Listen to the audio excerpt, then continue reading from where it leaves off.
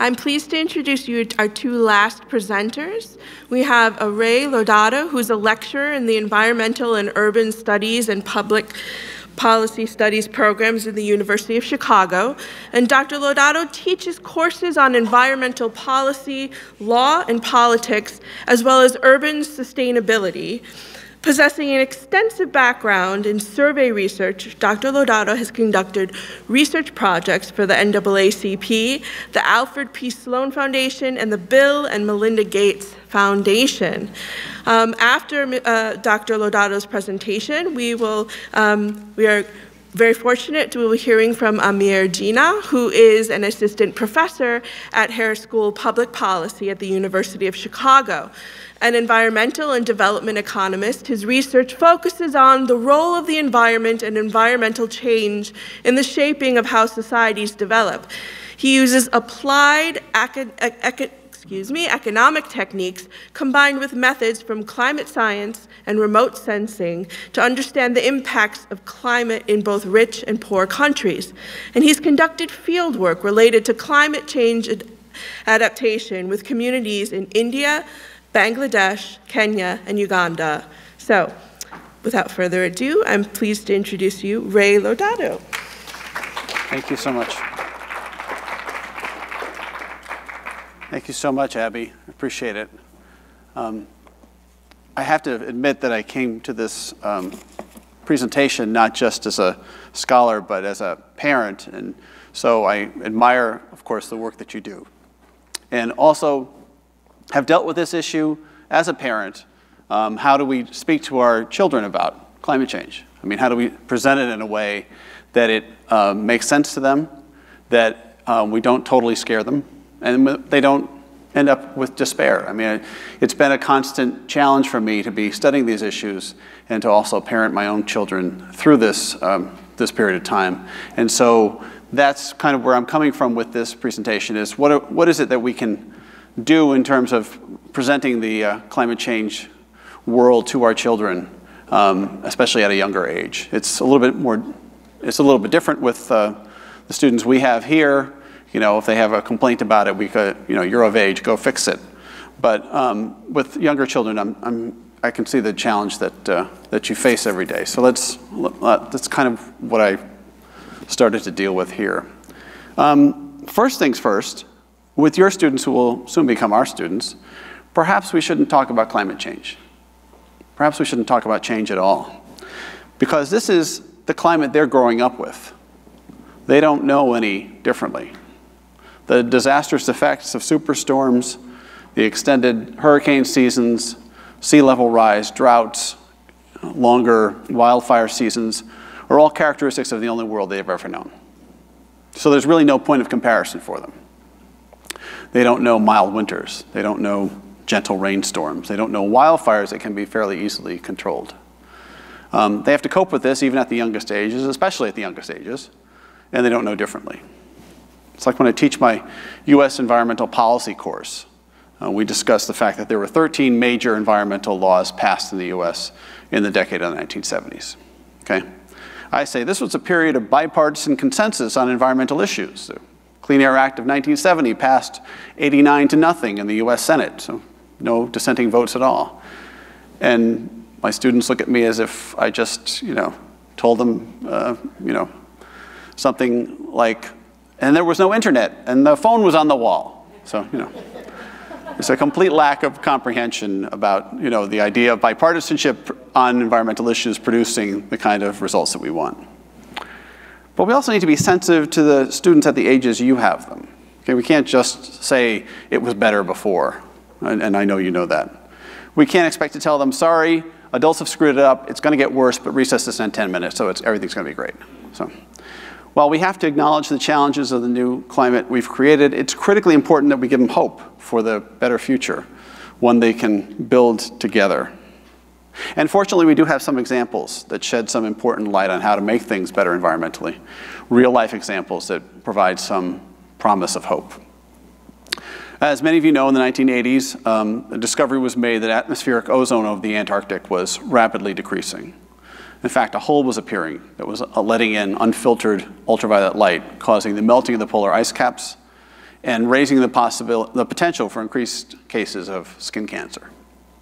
There was international alarm, but there was also a commitment to action on the part of the nations of the world. But to make a long story short, in a very abbreviated period of time from that discovery to the final action, despite opposition from manufacturers of chlorofluorocarbons, the nations of the world entered into an agreement to ban CFCs through something called the Montreal Protocol in 1987.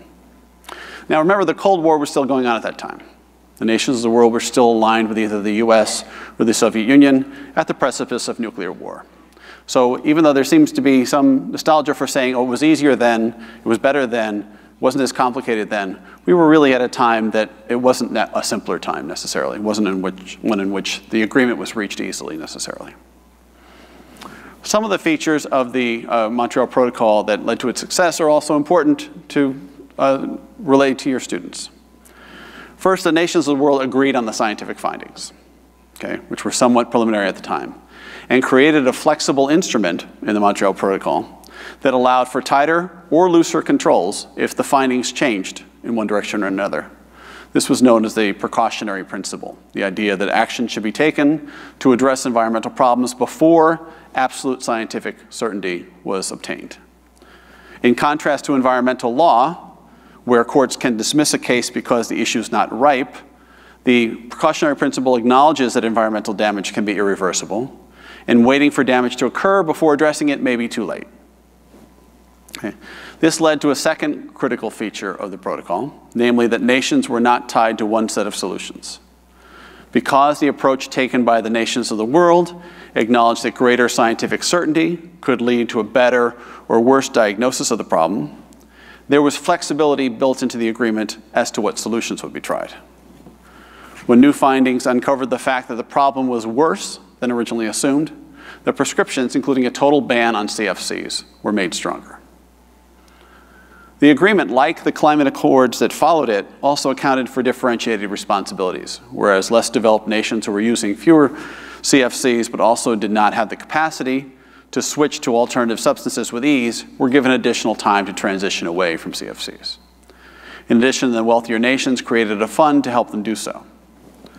All of these provisions would be applicable to any global climate change accord.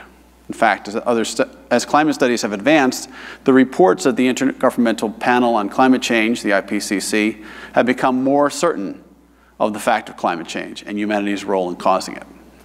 The agreements entered into by the world community have also become more strict, from the Rio Agreement in 1992 to Kyoto in 1997 to Paris in 2015. But the moral of the story, of course, is that the ozone hole is closing.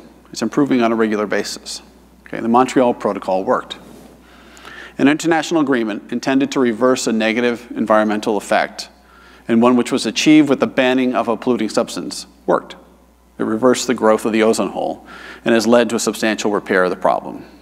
I'll show you a short video that talks about that. This is from NASA. This year, the ozone hole over Antarctica was far smaller than expected. In fact, it was the smallest since the ozone hole was discovered, the result of unusual weather patterns in the stratosphere over the South Pole. The ozone hole is caused by interactions between chlorine from chemicals called chlorofluorocarbons, or CFCs, and ozone. Although CFCs were banned by the Montreal Protocol in 1987, they last a long time in the atmosphere. Ozone depletion is enhanced when temperatures are colder, so the ozone hole fluctuates with the season, appearing during the colder austral winter months and disappearing by summer. It reaches an annual maximum size in early southern spring, usually in October. This year, the polar vortex, a spiraling wind pattern over the South Pole, was unusually wonky, this warmed the stratosphere, the part of the atmosphere with the ozone layer, which significantly slowed down ozone depletion. Although the small ozone hole this year was caused by weather patterns, the ozone layer has shown overall signs of improvement as a result of the Montreal Protocol. NASA and NOAA have worked together to study the ozone hole since its discovery.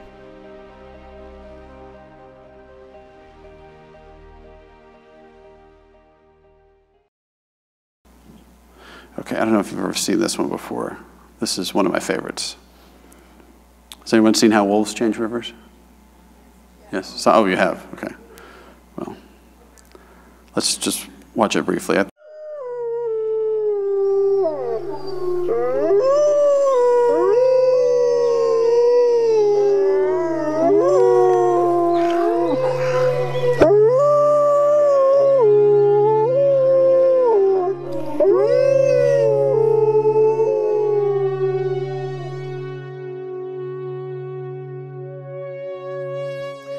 Most exciting scientific findings of the past half century has been the discovery of widespread trophic cascades.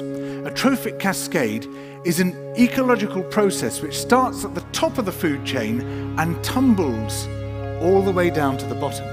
And the classic example is what happened in the Yellowstone National Park in the United States when wolves were reintroduced in 1995.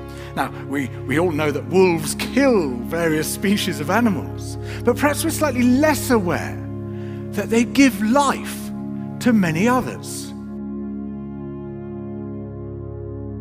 Before the wolves turned up, they'd been absent for 70 years, that the numbers of deer, because there was nothing to hunt them, had built up and built up in the Yellowstone Park, and despite efforts by humans to control them, they'd managed to reduce much of the vegetation there to almost nothing. They'd just grazed it away.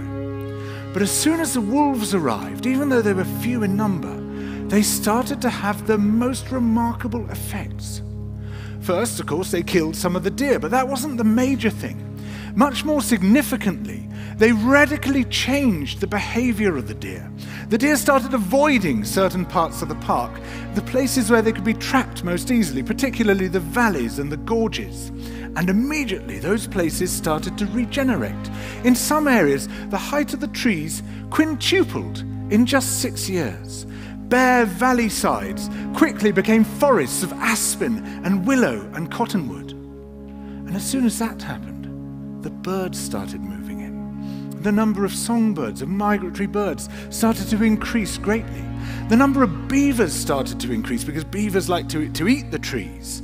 And beavers, like wolves, are ecosystem engineers. They create niches for other species. And the dams they built in the rivers um, provided habitats for otters and muskrats and ducks and fish and reptiles and amphibians. The wolves killed coyotes and as a result of that, the number of rabbits and mice began to rise, which meant more hawks, more weasels, more foxes, more badgers. Ravens and bald eagles came down to feed on the carrion that the wolves had left. Bears fed on it too, and their population began to rise as well, partly also because there were more berries growing on the regenerating shrubs. And the bears reinforced the impact of the wolves by killing some of the calves of the deer here's where it gets really interesting. The wolves changed the behavior of the rivers. They began to meander less. There was less erosion. The channels narrowed. More pools formed. More riffle sections, all of which were great for wildlife habitats. The rivers changed in response to the wolves. And the reason was that the regenerating forests stabilized the banks so that they collapsed less often, so that the rivers became more fixed in their course. Similarly, by driving the deer out of some places and the vegetation recovering on the valley sides, there was less soil erosion because the vegetation stabilized that as well. So the wolves, small in number, transformed not just the ecosystem of the Yellowstone National Park, this huge area of land, but also its physical geography.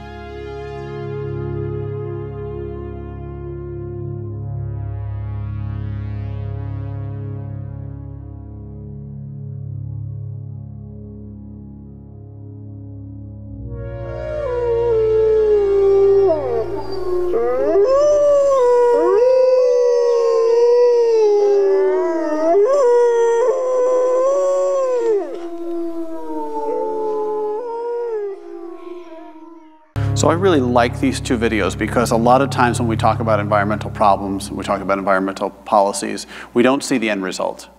And I think this is a really important way to prove the importance of good environmental policy, is to show that there is an actual result that uh, is positive for uh, the environment and humanity uh, at the end, as it, the end result. In my international environmental policy course, we spend considerable time looking at the effects of nations the efforts of nations throughout the world to address the climate crisis. Too often, analyses of the, of the climate crisis look at the success or failure of these agreements that are reached at the Conference of Parties meetings held every December at various locations. While each of the agreements I mentioned before is important to understanding how climate change is being addressed, we know those agreements are not necessarily being enforced by the nations of the world and that it's difficult to police them. But at a more local level, countries have undertaken policies on their own that attempt to address the climate crisis as well. I invite representatives from various consulates in Chicago to speak to my class about their country's plans and practices on environmental issues. And to date, we've welcomed visitors from the Republic of South Africa, Costa Rica, Germany, and Japan to give us an idea of what's going on in their countries. While some of the discussion is more appropriate for a higher level, um, the idea that there are initiatives that are ongoing around the world gives hope and inspires people to do more. Finally, getting back to ozone depletion, I would recommend a program called Ozone Hole How We Save the Planet. It's a PBS documentary from earlier this year. Uh, it gives a good timeline of the issue, explains it in detail, doesn't spare the issue of the pushback that the leading scientists received from industry when they identified CFCs as the culprit of ozone deple depletion. And also putting on my political scientist hat now, one of the key messages in that documentary is that it matters who we elect before anyone gets skittish that I'm going to get partisan here, let me point out the documentary makes the point that Ronald Reagan and Margaret Thatcher, who were leaders of the US and Great Britain at the time, were instrumental in the success of the Montreal Protocol. Reagan was a skin cancer survivor and understood that the ozone layer's role in limiting the sun's UV rays. Thatcher was a chemist by training, took a leading role in moving toward a solution. So the other message for students is that they have to insist that the candidates they vote for, regardless of party, understand the importance of the issue and support those who pledge to do something about it. So thank you.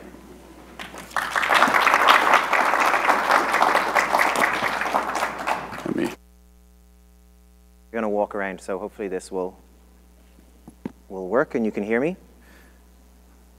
Can people hear me? Okay. Um, something that Abby didn't mention because I didn't write it in, or it's not in that standard bio that gets sent around the university, is that before I started my PhD, I was a high school teacher, and I'll let you, just, you can infer from the fact that I'm no longer a high school teacher how successful or not I was at that. And you'll also see some evidence of my boring style. I was, it was actually in Japan. And I'm from Ireland, so I was definitely not a US high school teacher. Okay, so I'm going to talk a little bit about my own research and the research of the kind of things that I do. Coming on the, the, um, the point of this event, what we try to do in a lot of the research that I'm doing is to localize the effects of climate change. Not only the temperature and environmental changes we see, but also the consequences of that. To try and think about the, the policies and the responses that happen at local levels.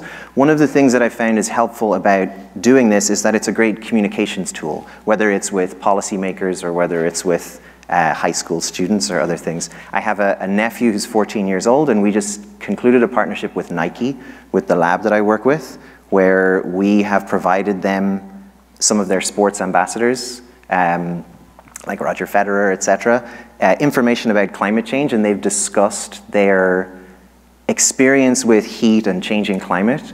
And I sent it to my nephew, and for once he got interested in the work that I do for a living. So, in trying to localize those things, find the right ambassadors, the right stories, uh, we found that to be a useful communications tool. So, this is kind of the, the the main problem. This is climate change is the way that I would view it a lot of the time. You might have seen something like this already today.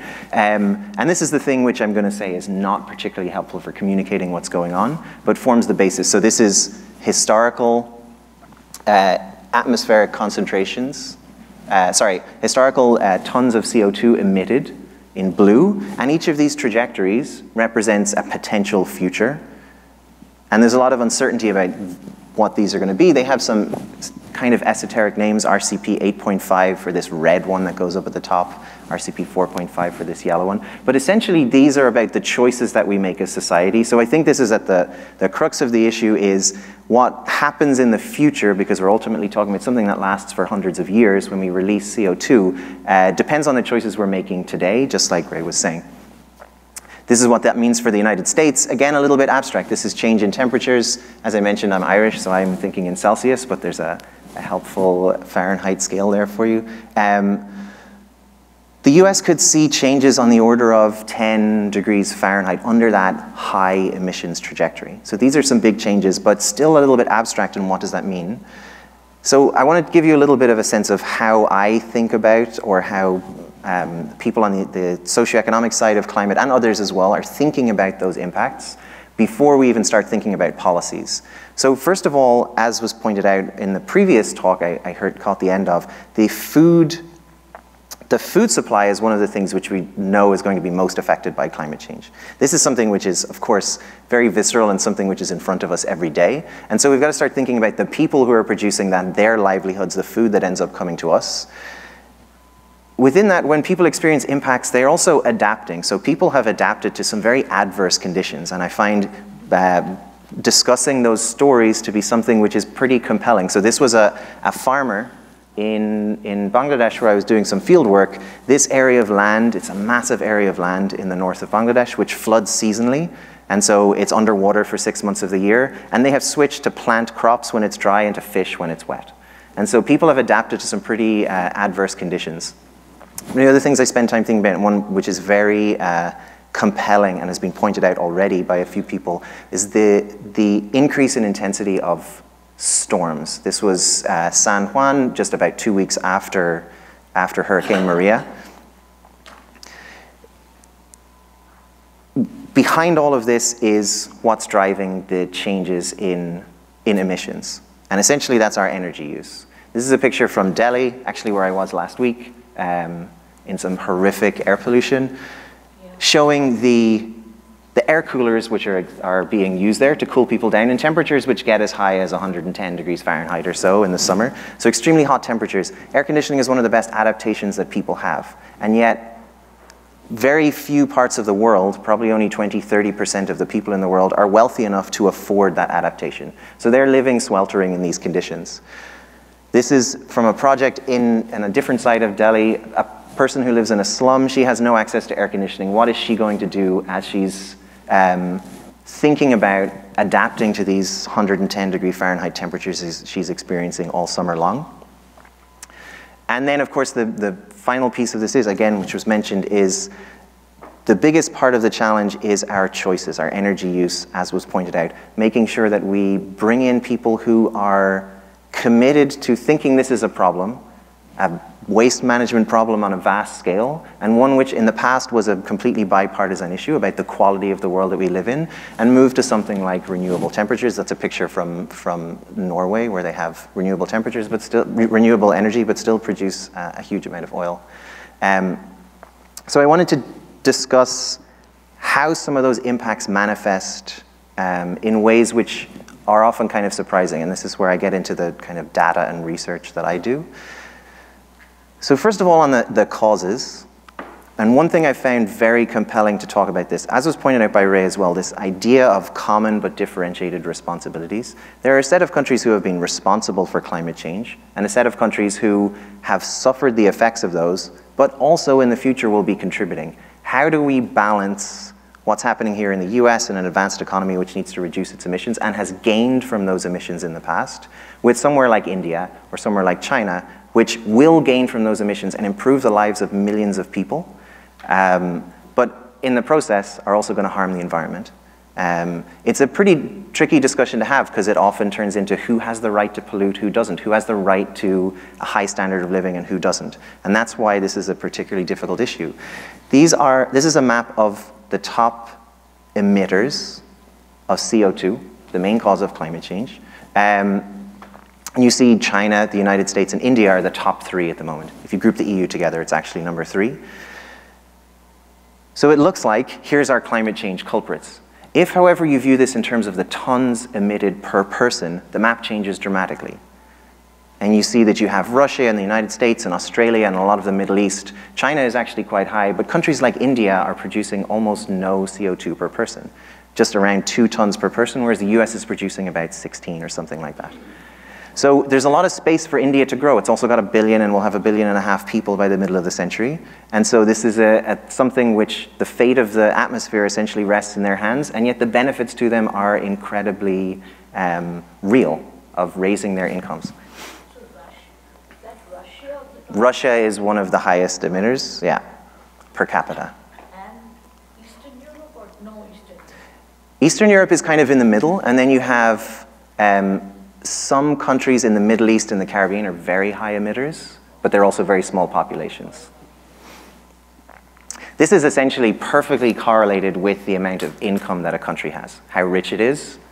And so there's a very tight relationship between energy use and the amount of money that we have. One of the first things we think of, you can ignore what these maps say, this is just to remind me of what to say. One of the first things we think of, as I said, is food security. There's definitely evidence of climate, changes in climate affecting food security and food supply. And we often think this is really something that happens in poorer subsistence places. But of course, we're in a global society.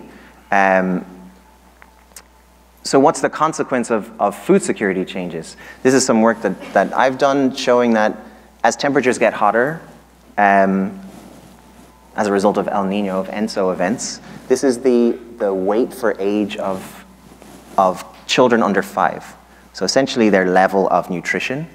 And as the temperatures get hotter, that drops by about half a standard deviation. Kids basically start to starve um, as a consequence of the food supply decreasing. So this is something that's happening mostly throughout the tropics. It also has an effect, that food security has an effect on human security. So there's a lot of research on showing that the temperatures increase can actually destabilize places. So it can lead to more conflicts, more civil conflicts. There's some evidence linking that to what we're seeing in Syria at the moment. And these are other issues, I think, which are angles to start talking about environmental degradation based on what's happening in the world. So that's in tropical countries and largely in poorer countries. Can we expect to see this in the US? The answer is yes. Surprisingly, we do. So Let's just focus on one of these. This is basically what I spend all my time doing is producing these figures. They're showing the relationship between temperature and some outcome. So if we look at this mortality one at the top, this is kind of a classic example. This is the number of deaths, or the death rate, and this is the average daily temperature. And what this line means is that for very cold days, colder than this average, there's an increased number of deaths. For very hot days, there's an increased number of deaths. There's this U shape a lot of things within the social system don't respond in ways that are kind of no, uh, in, in expected ways to, to changes in temperature. So we could be in a situation where if you're in a very cold place and the climate changes, you will see benefits. Norway and Russia and other countries. But if you're in hot places, you'll start to see harms. There's other things as well whether we'll notice this in the US or not, this is the effect it has on people's incomes. So this is temperatures getting hotter, and people's incomes are basically stable, and above a certain temperature, people start to make less money.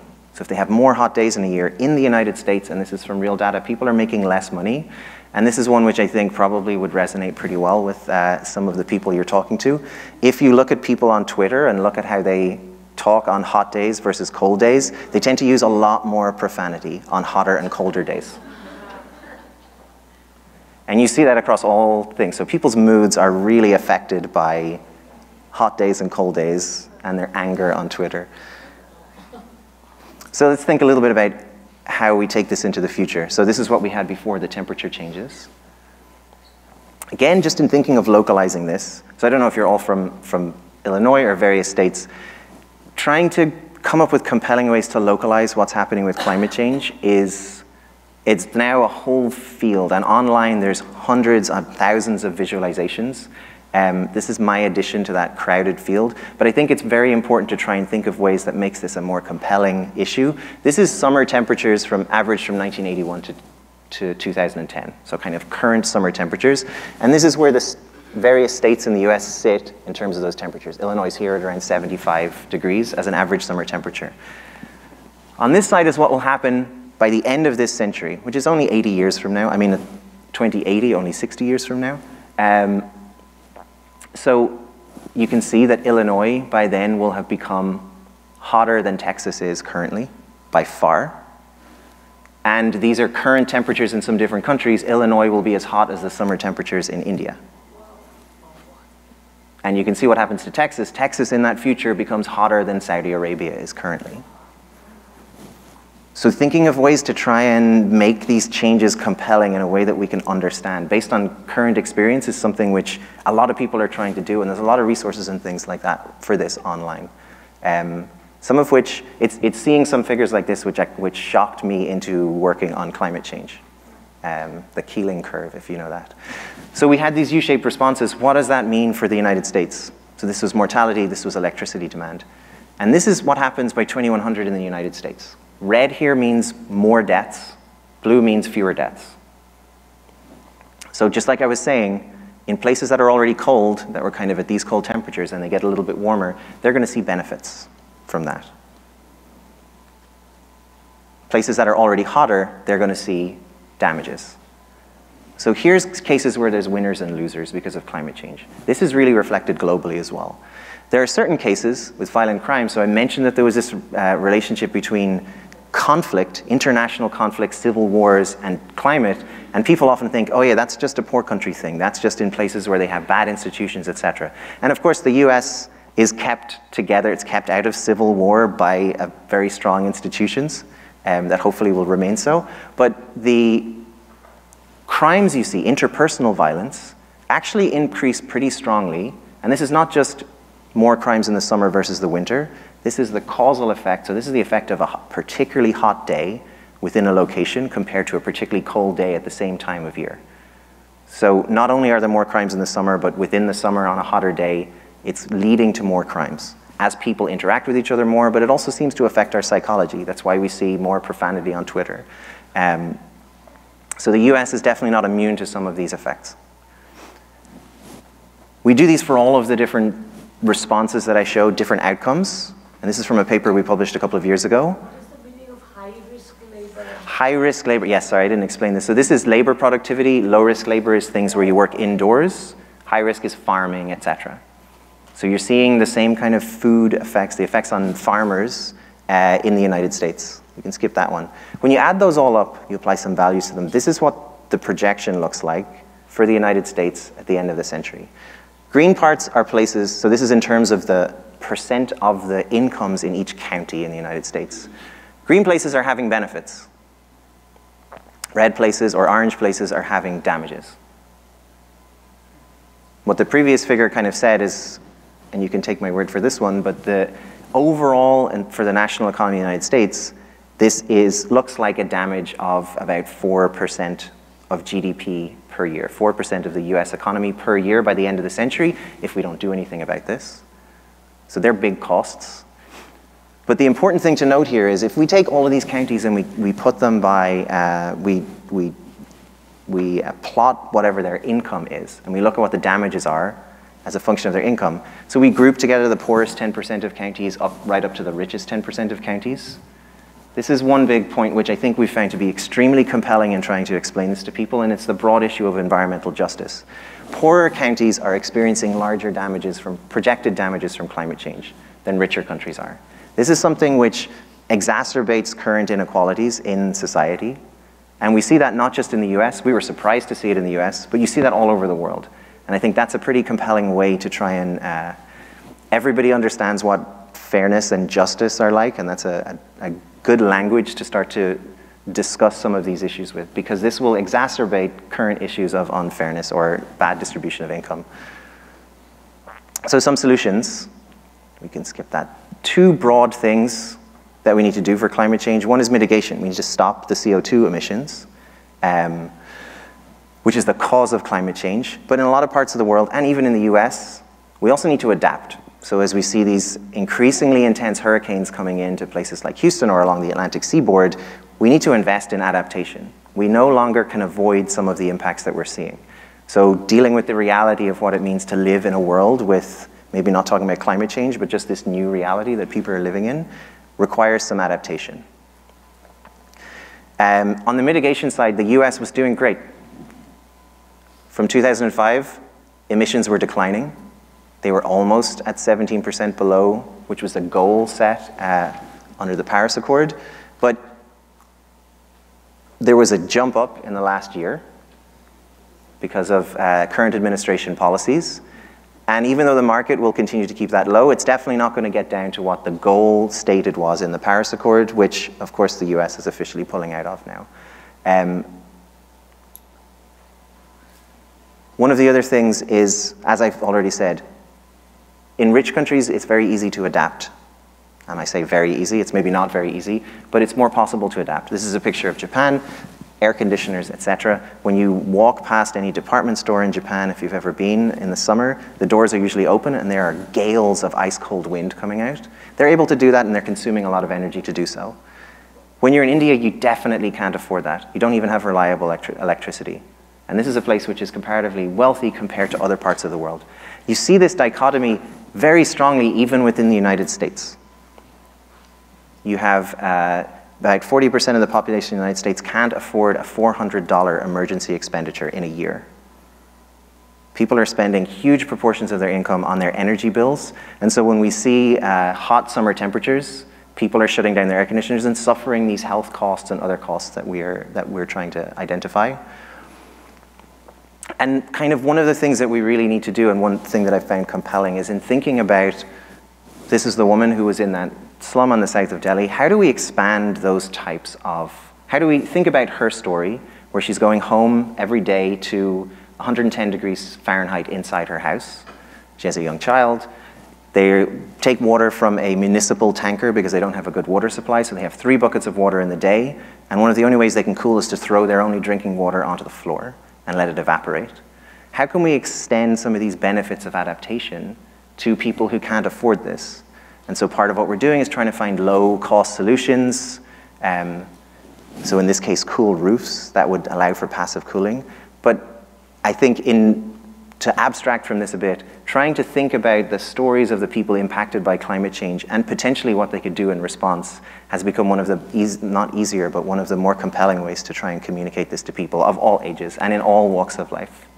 Um, I think that's all that I wanted to say. This what we've tried to do, and I think one of the things which has been helpful both in the research but also in the communication of what climate change is, is to move for some abstract picture like this, tons of carbon emissions or concentrations of CO2, to something like this, so maybe not using this figure, but the story behind it, which is this is something which affects this structure and the idea of, that we have of society. This is affecting the, our social fabric, our ideas of fairness, about what we want to be like as a society. And I think those are some aspects where we can start talking about this that make it a little bit more compelling and resonate with people. And I think that's all I have. Thank you.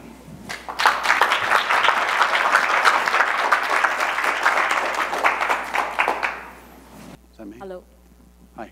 Uh, have you thought of studying human migration patterns because of climate change and uh, have you studied it or have you thought of studying it?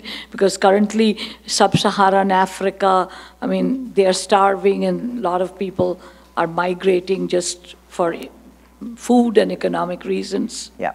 So the, I, I at the end of yesterday, I just had my regular weekly meeting about a project looking at human migration and, and climate change. Um, so the answer is yes. There's evidence showing that, um, that asylum applications in Europe, when places experience more kind of droughts or hotter temperatures, that you see this increase in asylum applications. Even though that's not the reason why they're applying for asylum, these are people living in pretty bad conditions already, reasons to flee, and what the climate does is it pushes them over the edge, and they say we need to leave. Uh, there's uh, evidence showing the increase of people flowing into cities in Syria, which was like um, associated with the destabilization there. So it's a really difficult question to answer. One of the things that people often ask me is, is, oh, well, all these results you've shown, people can just move away and everybody's going to be fine because you can migrate. But if you look at the world now and think that there's migration without uh, a lot of uh, frictions or, or hardship in trying to move, then you're probably not watching the news properly. So I don't think it's a big solution, but I think it's a big issue. As probably as a maybe a follow-up, like what's the, the legal implications of that? There's no legal definition of a climate refugee. There's, so what, what's... Well, I mean, I, I actually have another take on this, which is um, it, there was recently a projection in the US that by 2030, I think it was, 2040, that 70% um, of the population would live in 15 states. So in terms of our politics, that would mean 70% of the population is represented by 30 senators, 30% of the population is represented by 70 senators. But I think that requires that we ignore climate change. I think there are going to be, not necessarily refugees, but certainly there's relocation that's going to go on in the U.S. because we're a prosperous country. We won't call Yeah. people refugees. But there will be relocation that will reshape our politics, that will reshape how we think of our country. We'll rethink what we think of as a coastal area. What's a coastal area once, you know, co- our current coastal cities are, are um, you know, underwater? And, and they may very well be. I mean, there are a couple of um, film documentaries on Miami that I've shown in my resiliency class, which are not hopeful at all, you know, for the future of Miami. And that's 300,000 people there. So I'm not really sure. Um, and there was a great um, piece in the um, LA Times, a long piece um, a couple of months ago about relocation on the California coast and how controversial that has been, and that people are, are putting up, you know, um, resistance to it. But the water is now, you know, pretty much in people's front, what had been people's front yards. So obviously, it's a much bigger issue on the, on the global scale. The idea of, of, of, of, of climate refugees is, is a much bigger deal. And it's not covered, it's not something that's covered in any international policy. The policies on refugees don't recognize climate refugees at, at the present time. But it's also going to be a problem in a prosperous country like ours.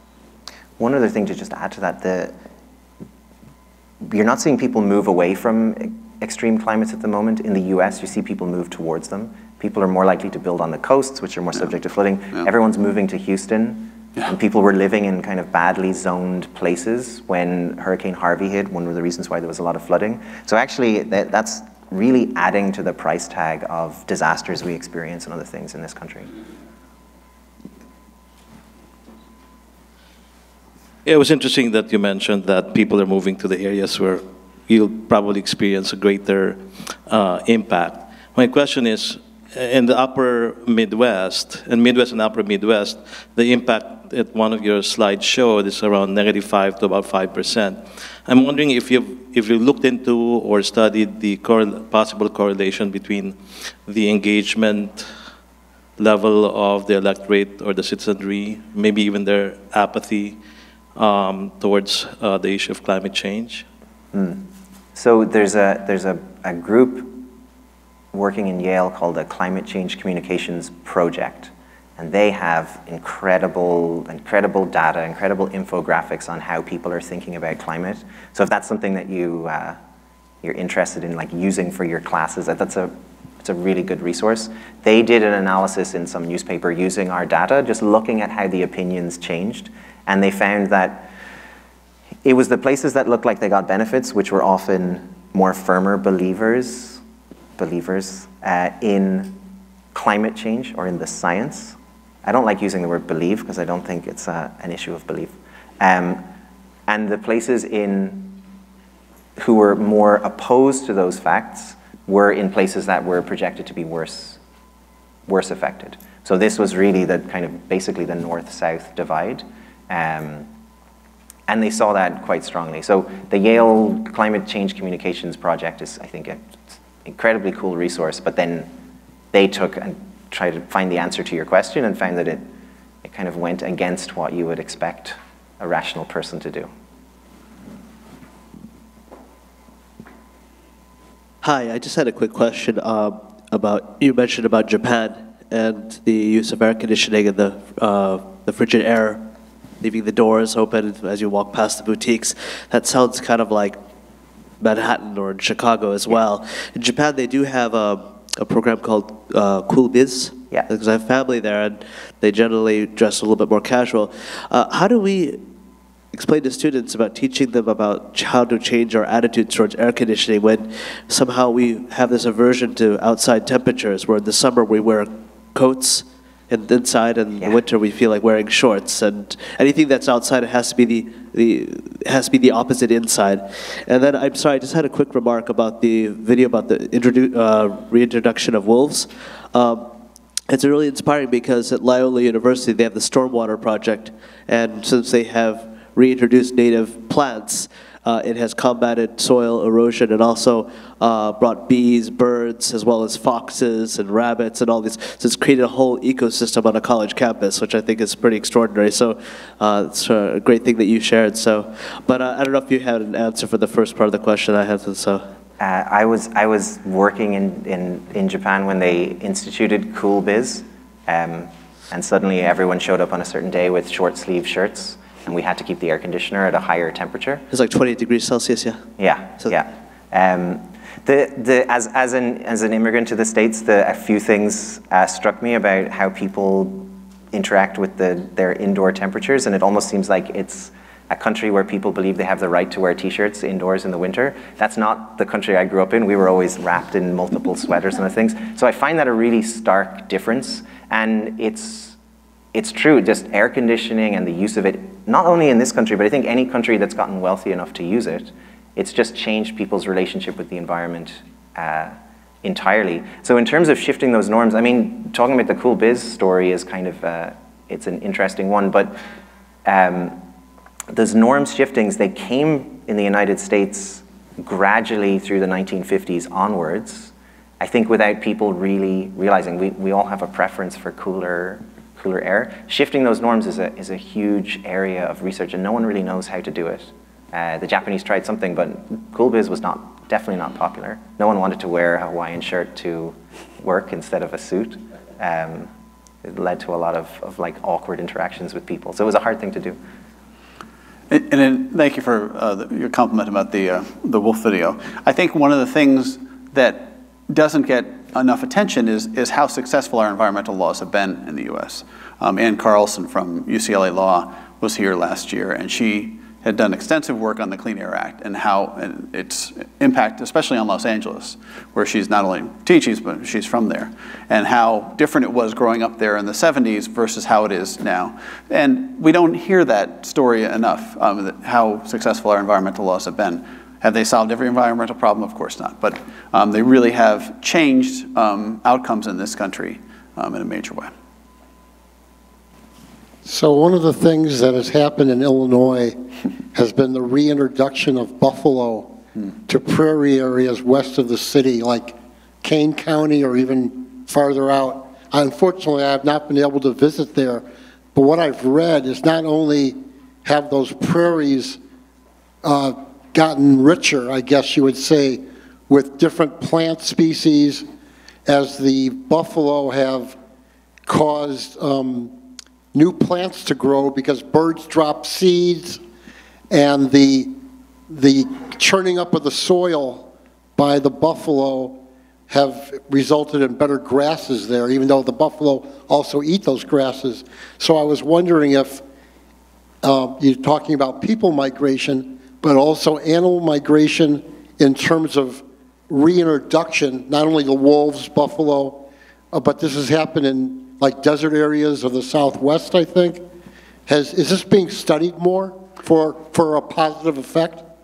Um, an interesting thing you might want to uh, address with your classes is uh, a, a, proposal by Frank and Deborah Popper from the 1990s.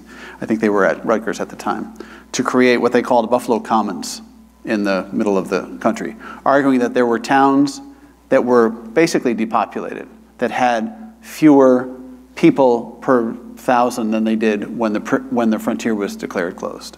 Um, so they really basically empty and to create this, recreate this Buffalo Commons in, in the middle. And it got, you can imagine the pushback they got from people who were in the, in the towns who were convinced they were one factory or one Walmart away from economic prosperity returning.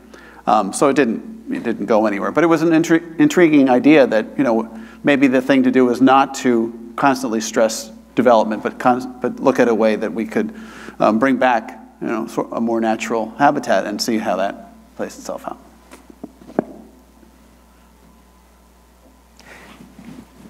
I just, if I, if I can monopolize for a minute, I just had a, a, a thought about the behavioral thing, maybe thinking, maybe activating an old part of my brain.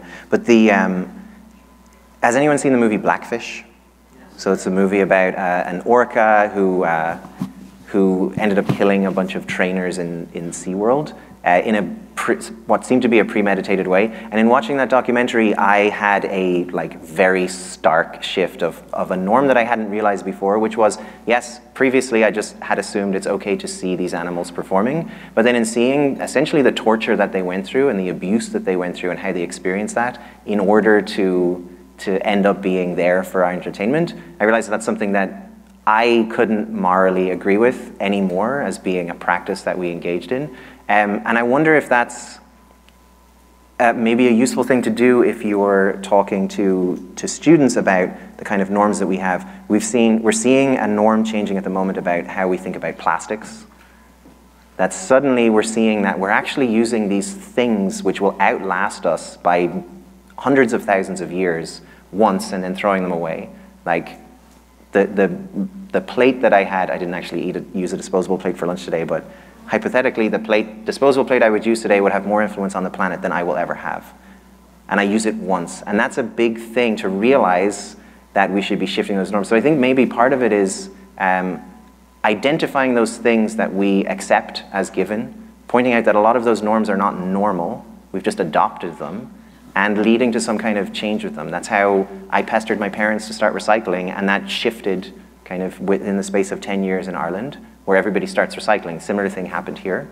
Um, but part of it is just calling them out as why do you do this behavior? Is that okay? What are the consequences? Because there's a lot of behavioral change that we need to make that are underlying the causes of climate change that we kind of have to start tackling our, the way we interact with the, the world.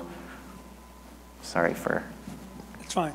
Um, I'd like to go back to the, uh, the buffalo and the wolves and such. Uh, the success of those uh, programs are on uh, let's say, segregated areas. Um, so uh, it's great that the buffalo uh, maybe are improving the prairie mm -hmm. and the wolves have improved the park. But how would those animals affect like the U.S. if we just let them uh, freely wander?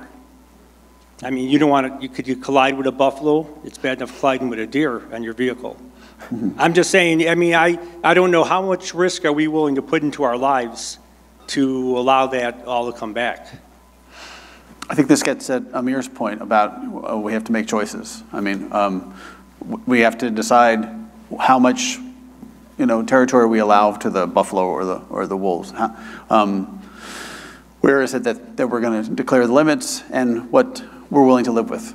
So I, it's not a choice that I, I, necessarily have in mind. I don't have a, an idea of where that ends or where it begins but it definitely is a choice.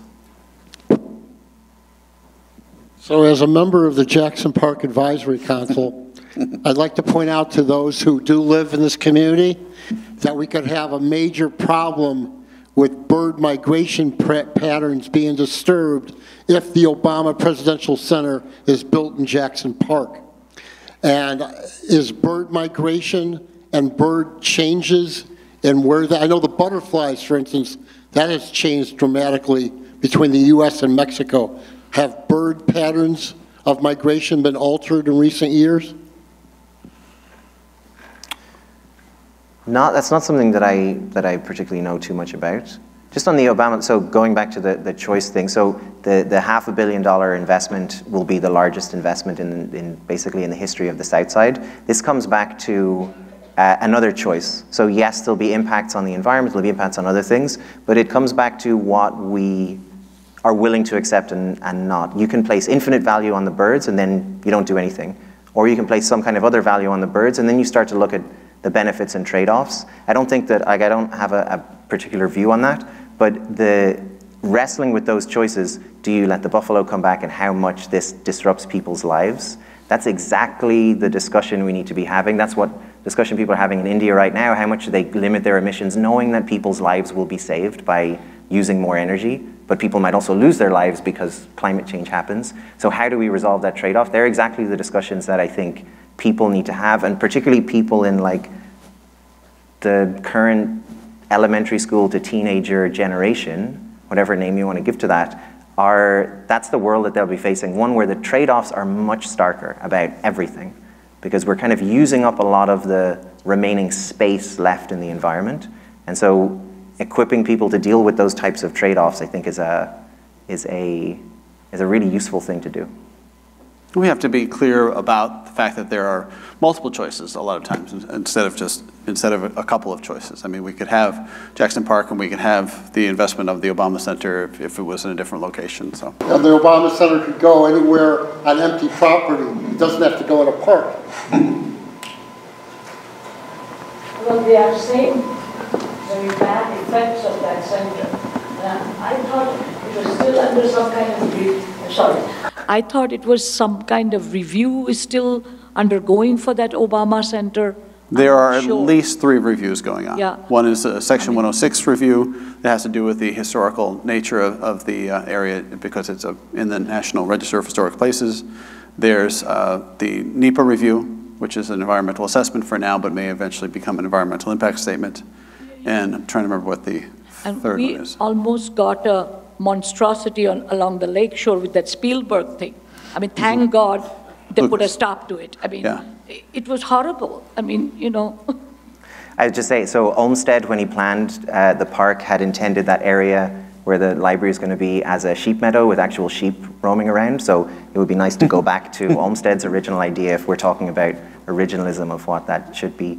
Um, do you mind if I ask a question of, No, sure. of you? Sure. Why did Montreal work, and what lessons do we learn for climate change based on that? There are a couple of reasons, um, one of which was the commitment of, of countries throughout the world to do it. It's the first UN agreement that every nation signed on to. It got the support of, of people of all kinds of ideologies, but it also was the fact that uh, CFCs were going out of, I don't want to say out of style, but there were, there were alternatives already in place for um, replacing CFCs with, with things that were less uh, dangerous to, to the ozone layer. Um, in the same way that while the cost of alternative fuels is, is going down and going down dramatically, we're not at the place where we're going to do a one-to-one replacement just yet. So the resistance from the, um, from the uh, oil industry is, and th- their practical objections as well to being replaced, um, are a little bit more meaningful than, than with the CFCs. And there are fewer players politically in this. Uh, there are only a couple of com- companies that made CFCs, whereas the oil, oil industry is worldwide. And, you know, so there are a lot of reasons. But what are the lessons that you would learn from that? If it's not, if there's not a direct line between, there's no substitute technology, that kind of thing, what, what do we learn from Montreal about the current crisis that, that helps? I think, I think we learned that change can happen, but at the same time, I think we, given the differences in the, in the cases, I think we have to look at it in terms of how, what can be done on a more local level. Yeah, I don't think that, I'm not sure that one international agreement is going Yeah. to necessarily solve this issue. Um, and, and we've had a couple that have, have sort of, could have led us on that path and weren't implemented. So, you know, maybe it has to be a more local Yeah. situation.